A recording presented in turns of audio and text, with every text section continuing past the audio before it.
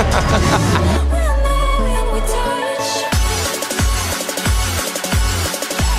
The old you would have leveled this whole mountain range to stop me!